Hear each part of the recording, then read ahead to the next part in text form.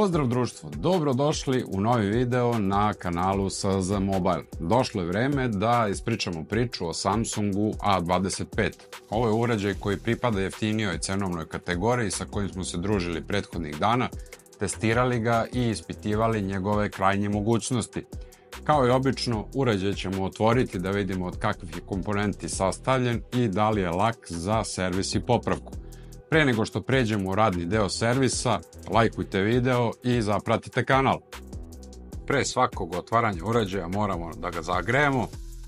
Cook the Samsung. Samsung je skuvan i spreman za otvaranje. Malo ćemo ga utegnuti u stegu da nam bude lakše da ga otvorimo. Mali vakum.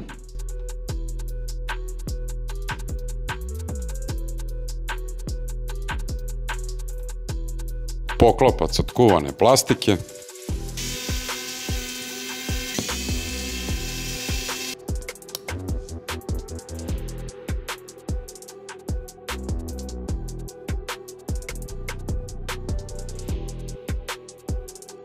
Šta može da bude veliki problem kod ovog modela, evo ja sam to prevideo. Ovde ispod zaštite za kameru ima još šrafova za malo je moglo skupo da nas košta. Ali sreća, nismo slomili ništa.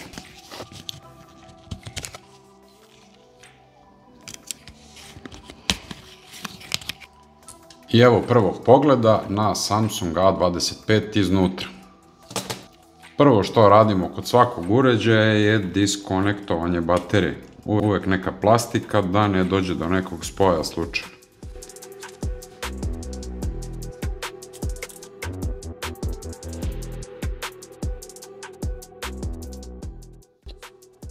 Prva komponenta od koje krećemo razgledanje ove A25-ice je konektor preko koga se obavljaju sve fizičke konekcije sa ostalim uređajima. U pitanju je Type-C konektor i pored njega imamo 3,5 mm audio izlaz. To je redko za današnje skupe uređaje, na ovim jeftinijim uređajima su se još uvek zadržali 3,5 mm audio izlazi.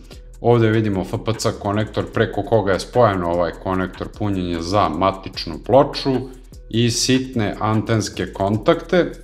Sa druge strane pločice vidimo glavni mikrofon preko koga se obavljaju razgovori. Sledeća komponenta je flat koji spaja subboard i motherboard i često puta zna na Samsungu da se ovaj flat nekako pokvari to jest da se neki vod od ovih crnih linija prekine i da jednostavno prestane ili da radi ekran ili da prestane, na primjer, punjenje telefona. No dobro, to se lako menja i lako se popravlja. Treća komponenta po redu je baterija ovog telefona, 5000 mAh, međutim, kao i svuda, rated capacity je 4905 mAh. Uvek je to malo manje nego ono što oni deklarišu. Ne znam zašto tako rade, ali jednostavno to je standard, ovde je još i dobro, 4905, desi se da je i po 200-300 mAh manja baterija nego inače. Punjenje se obavlja samo kablom pri 25 W, od ove godine i ovi jeftini Samsungi su dobili 25 W punjenje ili ona oznaka Super Fast Charge Ako ne vidite super fast charge oznaku, nemate 25 vatno punjenje ili imate ono obično od 10 ili od 15 vati. Ako piše brzo punjenje ili fast charging, onda je 15 vati. Najbitnija komponenta kod svakog uređaja je matična ploča telefona, to jest mozak telefona. I ovde vidimo more sitnih konektora, FPC konektora, malih čipova, antenskih prijemnika sa ove strane, ovo je glavni FPC konektor gde se kači gornja i donja matična ploča.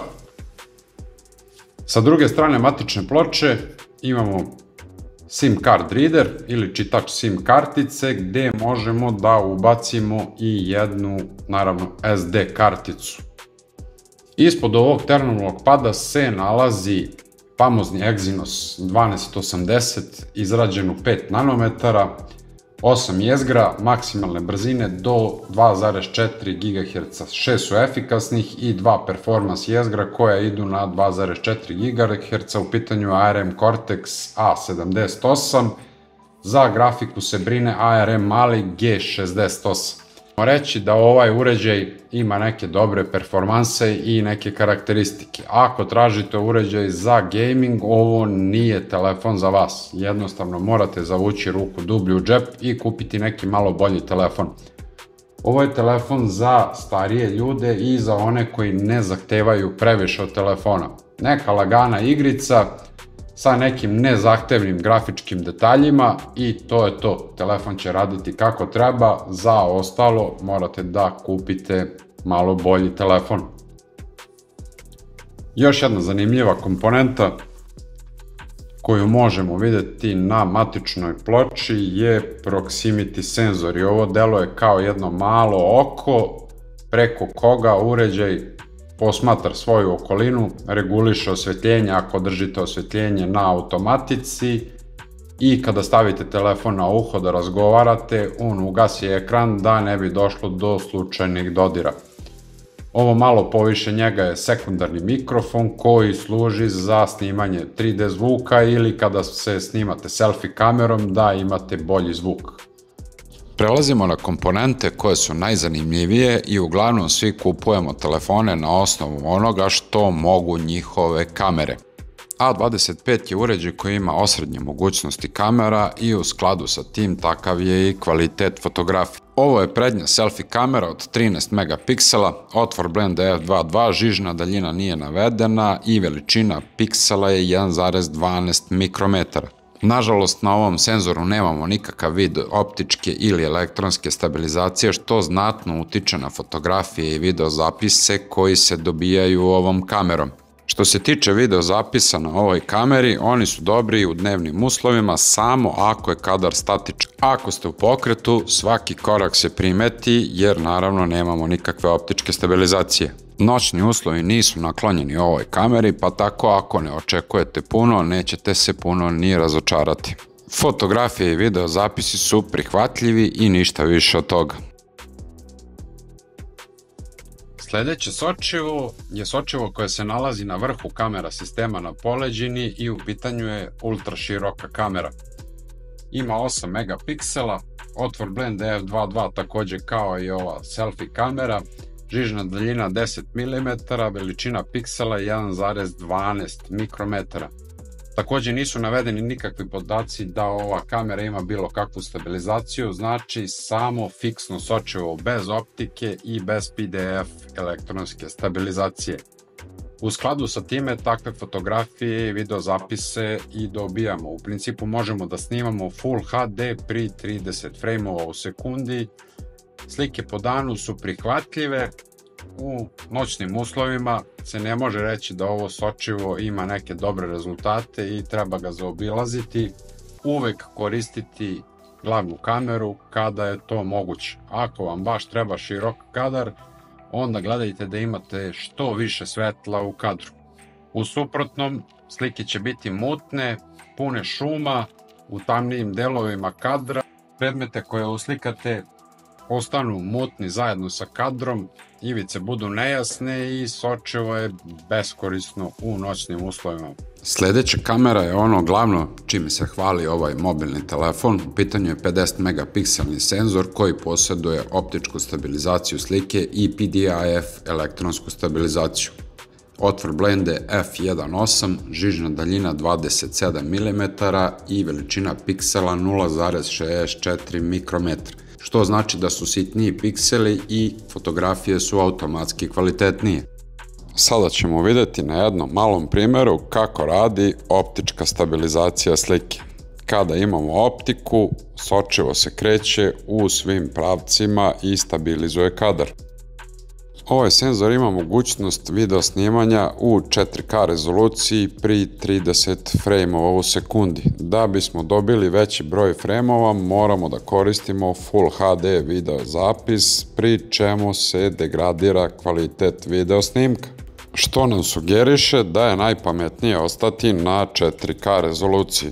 Glavna kamera se odlično snalazi u dnevnim uslovima i može se meriti sa mnogo skupljim kamerama. Fotografije su odlične, oštre, bogate detaljima, obojene jarkim bojama i kao takve su pogodne za društvene mreže. Kada vidite vividno plavo nebo i zelenu travu kao da je maj mesec, fotografije jednostavno ne može da vam se ne svidi. Samsung verovatno sa ovakvim procesiranjem slike izbegava neke nesavršenosti senzora tako što im dodaje atraktivnost. Ako niste ljubitelj atraktivnih fotografija, onda možete iskoristiti 50 megapikselni mod koji daje mnogo prirodnije fotografije i mnogo približnije onome što vidite golim okom. Noćni uslovi nisu naklonjeni ovoj kameri, prisutna je velika količina šuma u tamnijim delovima kadra i takođe je izražen lens flare i veštački artefakti od uličnog osvetljenja. Tu na scenu stupa night mode koji donekle ispravlja situaciju, ali fotografisanje traje par sekundi i morate biti mirne ruke. Ako je kadar nije miran, fotografija bude razmuljana i od nje nema velike koristi.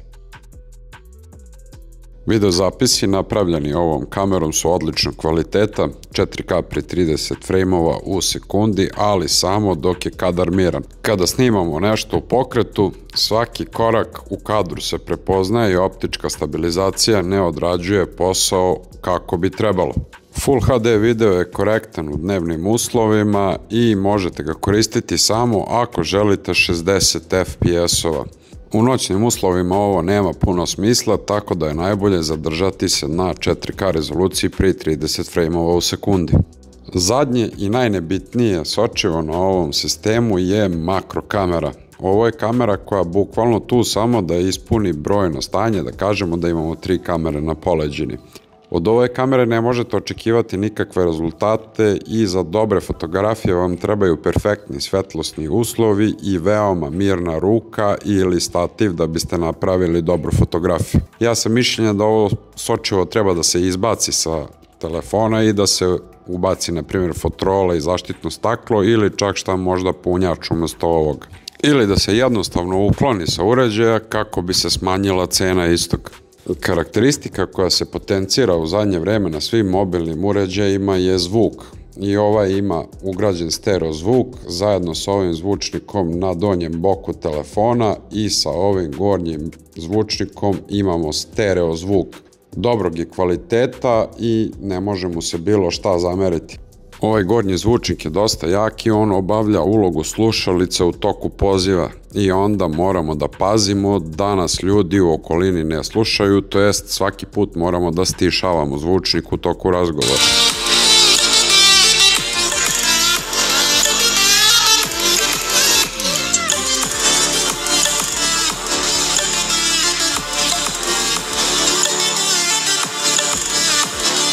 Frame telefona je takođe napravljen od ove neke meke kuvane plastike i na njemu se nalaze svi antenski dodaci koji služe za prijem Wi-Fi i GPS signala. Tu su signali i za GSM, tako da pri uklanjanju poklopca sa ovog frejma moramo da pazimo da slučajno neke od ovih fletova ne pokidamo jer ćemo izgubiti prijem nekog od navedenih signala. Ostao nam je još ovaj bazalni frame telefona na koji je zalepljen ekran. Izrađen je od aluminijuma i tako daje uređaju neophodnu čvrstinu kako se ne bi savijao i uvijao. Na nekim uređajima koji su napravljeni od plastike zna da se frame savije i da ekran ispadne iz telefona. Na dnu frejma se nalazi vibromotor koji je zaslužen za vibraciju i pored njega imamo ovaj FPC kabel koji služi za konekciju sa matičnom pločom. Na boku su tasteri za pojačavanje i smanjivanje zvuka. Dugme za paljenje i otisak prsta su u jednom tasteru i nalaze se na boku telefona. Ostaje nam još da sklopimo uređaj i da kažemo neku završnu reč.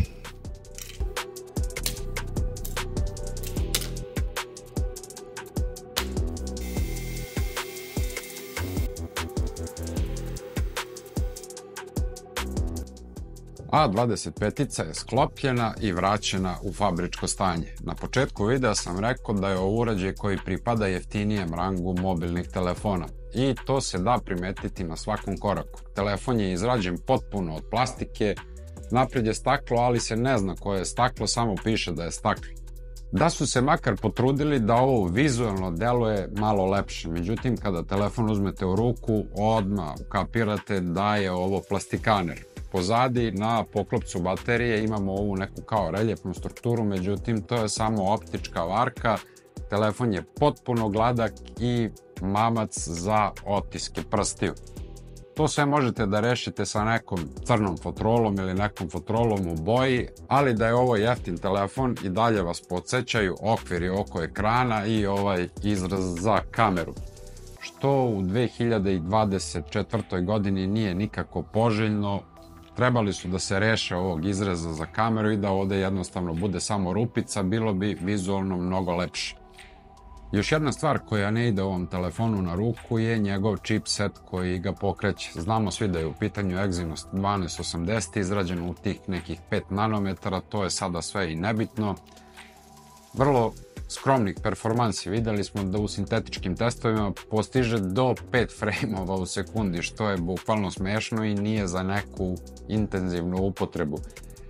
Naravno, zbog toga imamo dobro trajanje baterije i stability na wildlife-u je fenomenalan preko 90%, ali džabe kad imamo samo 5 frame-ova. Tako da, nažalost, ako očekujete od ovog telefona neke performanse, nećete se usrećiti. Glavni aduti kojima se hvali ovaj telefon je glavna kamera od 50 megapiksela sa optičkom stabilizacijom ali ta optička stabilizacija kao što smo videli u stvarnosti ne radi baš onako kako bi trebalo da radi. To je izgleda neka optička stabilizacija koja je namenjena tim jeftinijim telefonima i ugrađuje se ovako u ove jeftine uređaje. Nije ista kao ona na skupljim uređajima. Drugi adut ovog telefona je sam ekran. Ako zanemarimo ove debele okvire oko ekrana, u pitanju je Super AMOLED ekran. Trenutno ne možemo naći bolje u ovom cenovnom rangu. 120 Hz osveženje, 1000 nita osvetljenja, Full HD plus rezolucija, 396 piksela po inču, što daje odlične karakteristike ovom ekranu i upotrebljivost u stvarnosti. Nemamo problema na dnevnom svetlu, sve je čitko, vidno i ekran je fenomenalan.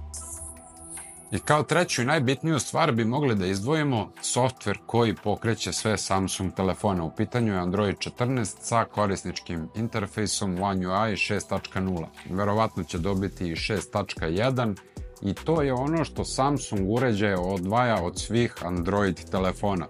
Ovo će verovatno stići do Androida 18, i imaće još jednu godinu sigurnosnih ažuriranja. Redko koji proizvođač može da se pohvali sa takvim ažuriranjem i takvom sigurnošću uređaja. Ako pripadate krugu korisnika koji traže vizualno lep telefon, ovo neće biti nikako vaš izbor. Ja sam u tom krugu korisnika koji smatraju da je ovaj Samsung dizajn ružan i vrlo bi se teško odlučio koji Samsung kupiti u ovim jeftinijim cenovnim kategorijama jer su maltene svi isti, liče se kao jaje jajetu. Ali onda dolaze u prvi plan njegove karakteristike kojima se on hvali glavna kamera od 50 megapiksela, Super AMOLED ekran i softverska podrška koju nema ni jedan drugi uređaj u Android svetu. Tu Samsung dobija jasnu prednost i ističe se kao najbolji izbor za kupovinu. Kažem opet, bilo bi teško odlučiti se koji telefon kupiti. Ako ste protivnik ovakvog izgleda, onda ovo nije telefon za vas. Ako vam treba pouzdan i stabilan telefon, onda je ovaj A25 odličan uređaj. Ovo je bilo moje viđenje ovog telefona i nadam se da vam se svidelo. Naravno, nismo svi isti, pa tako ne možemo ni da imamo svi ista viđenja. Neko će više voleti Honor, Xiaomi i ostale brendove, neko više voli Samsung, ali čar je u tome da smo svi različiti i da imamo što veći izbor. Ako vam se video svideo i bio od koristi, lajkujte ga, podelite ga sa prijateljima da i njima bude od koristi i naravno zapratite kanal SZ Mobile kako bi pomogli u daljem radu i razvoju našeg malog kanala. Hvala vam na gledanju i pozdrav do sledećeg videa. Ćao!